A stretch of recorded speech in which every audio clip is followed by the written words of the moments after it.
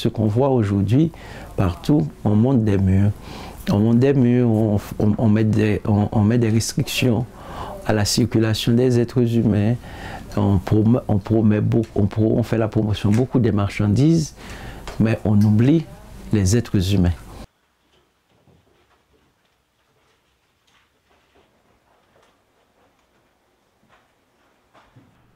Parmi les dix auteurs sélectionnés, aucun écrivain n'était issu d'une minorité visible pour donner des suggestions de lecture lors du Salon du livre de Québec en 2017.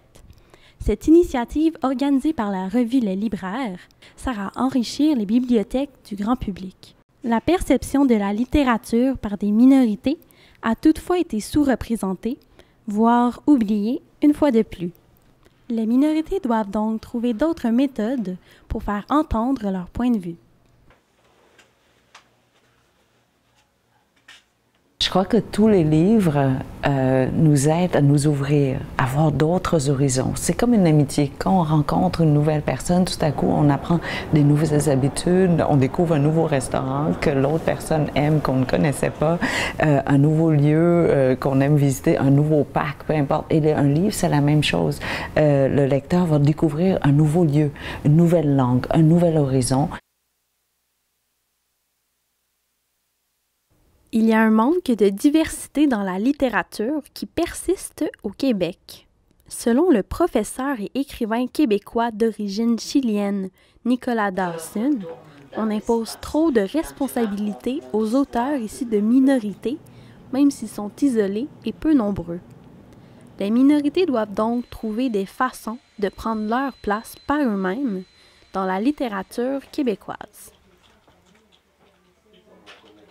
en fait, l'État ne fait que retirer ce qu'il y avait, mais il fallait beaucoup plus de bourses, beaucoup plus d'échanges entre les étudiants, je pense par exemple du Sénégal et du Québec, les étudiants d'Haïti, les étudiants de la Chine, les étudiants du Maroc et du Québec, pour que, parce que quand on parle de francophonie, francophonie c'est une mosaïque de peuples et de cultures. Il faut que ça puisse circuler, il faut qu'on enlève les barrières, un monde sans visa pour que les gens puissent traverser. Les écrivains issus de la diversité doivent trouver des manières concrètes pour se démarquer dans la littérature au Québec. La rage d'écrire est un style d'écriture littéraire relevé par le professeur de littérature de l'Université McGill, Michel Biron. Ce style se caractérise par une violence dans la forme et dans le fond du texte. Un désir d'écrire. Première chose, un écrivain veut écrire et souvent ça donne des textes euh, assez improvisés, des textes euh, qui sont des, comme des logorées, c'est-à-dire des un flux de paroles, un déversement de paroles, ça va dans pas mal de directions, ça va vite. Il y a une espèce de violence verbale, c'est pas toujours très soigné, c'est pas une écriture euh, propre, une écriture plus souvent un peu trash, un peu, un peu, un peu brute, un peu primitive, un peu familière. Les minorités peuvent s'en servir pour accrocher le lectorat. Le lecteur, il est, euh, affecté par euh, euh, cette écriture-là parce que c'est comme un coup de poing. Une sorte de, de, geste très physique, une écriture brute. Alors le lecteur, il est surpris parce que ça ne ressemble pas à la, la, littérature habituelle. Et donc, souvent, ces textes-là vont emprunter des formes plus proches de la langue parlée. Donc, ça ressemble beaucoup à des témoignages euh, ou à des textes qu'on pourrait dire, qu'on pourrait performer. Ce n'est pas la colonisation qui nous arrêtera. Ce n'est pas le féminicide qui nous arrêtera. Ce n'est pas la société dominante qui nous arrêtera. Une pensée Certains auteurs utilisent des mots issus de langues étrangères dans leurs écrits en français pour mieux refléter la réalité qu'ils illustrent dans leurs œuvres. On pense souvent que le vietnamien s'écrit avec des caractères. Alors, je voulais montrer que, ben non, le vietnamien s'écrit vraiment avec l'alphabet. Et quand on l'a imprimé, ben, on, peut imaginer la langue. Et quand on voit tous les accents, on entend même la langue, la mélodie. Donc, c'est pour ça que, pour moi, quand euh, j'essaie de faire voyager le plus possible le lecteur, autant dans l'histoire que dans la texture du papier, que dans le visuel, ce qu'on voit. Un roman d'autofiction, comme Nirlit de Juliana Léveillé-Trudel, peut devenir un manifeste, une façon de partager une réalité méconnue pour la démystifier de sa version stéréotypée de faire découvrir un endroit, ben, c'est le faire découvrir aussi à travers euh, les mots des gens. Surtout dans le cas du Nunavik, ce que je trouve très intéressant, c'est la langue, justement, parce que, bon, au Québec, je pense qu'on oublie très souvent qu'il y a des langues autochtones. on, sait qu'il y a le français, l'anglais, on sait qu'il y a des communautés culturelles euh, issues de l'immigration qui arrivent avec leur langue aussi, mais souvent, on ne pense pas qu'il y avait aussi des langues présentes ici avant, euh, avant qui sont encore vivantes aujourd'hui.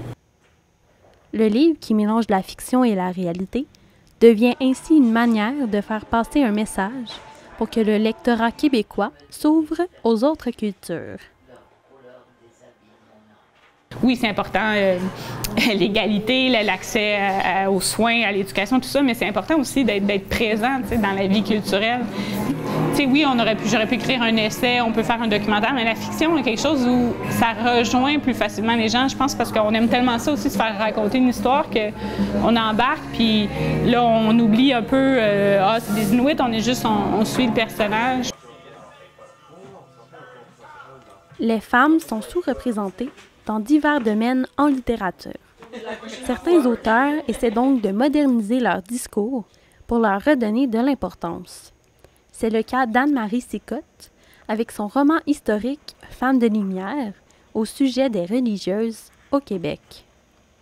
Dans, tout le récit historique, par exemple, québécois, on, on mettait les femmes en position, oui, minoritaire, ou en tout cas comme une clientèle particulière, comme si elles ne faisaient pas partie du courant principal de la vie. Elles étaient comme toujours un peu à part. C'est vrai qu'elles l'ont été. Mais en même temps, elles étaient toujours présentes, toujours là. Elles ont, fait beaucoup, beaucoup de choses. Mais il y a du changement. Il y a beaucoup de changements. La position des femmes en littérature, mais il y en a encore beaucoup à faire. La littérature migrante n'est pas un courant figé. Le professeur Daniel Chartier de l'Université de Montréal en a d'ailleurs relevé cinq phases qui reflète les différents flux migratoires de l'histoire du Québec. Euh, dans les années avant, il y avait des écritures qui venaient d'ailleurs, bien sûr, mais surtout de France, de l'Europe francophone. Là, ça vient de tous les continents.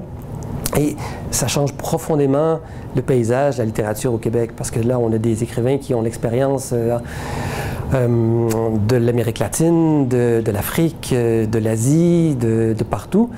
Et bien sûr, quand il arrive ici, ben, il y a le choc des cultures. Le lectorat d'ici se reconnaît alors dans le récit des gens qui ont influencé une partie de leur histoire. Je pense que mon livre parle aux Québécois euh, tout particulièrement parce que je suis québécoise, parce que je suis arrivée au Québec et c'est le Québec qui m'a reçue et je crois que je décris surtout le Québec dans les livres. Et donc, ils voient, j'espère, que le Québec voit son reflet dans mes mots. Je suis comme un miroir de, des Québécois qui nous ont reçus.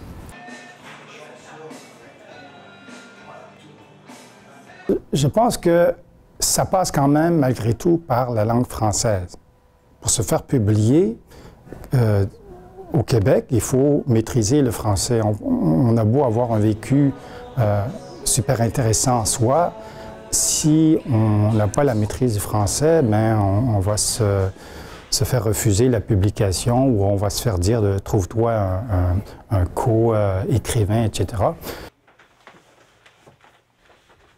Selon le conteur Jean-Marc Massy, l'identité et l'ambiguïté sont deux thèmes adjacents. Ce dernier utilise dans ses histoires ces deux thèmes, que ce soit au sujet de l'orientation sexuelle, des origines ou du bien et du mal. Il cherche alors à permettre à son public de se questionner sur sa perception des différences, voire de sa propre origine de faire des contes sur des personnages euh, qui peuvent changer d'état parce qu'ils découvrent quelque chose de nouveau et ils deviennent autres. Ben ça, je pense que ça fait résonance euh, avec euh, les gens qui, à un moment donné, découvrent dans leur art généalogique qu'on leur a caché des origines, des origines qu'on qu'on voulait pas avoir dans l'arbre généalogique. Euh, donc, j'ose espérer que ce que je raconte, que ça ouvre des lumières aux gens qui sont étroits d'esprit et qui ont beaucoup de, beaucoup de difficultés avec euh, l'identité à géométrie variable. il faut élargir le cercle et, et, et, l'accepter. Donc, ce qu'il faut faire simplement, c'est le geste est très simple, les enfants le font toujours, c'est ouvrir les bras. C'était Gabriel Degary pour l'informateur.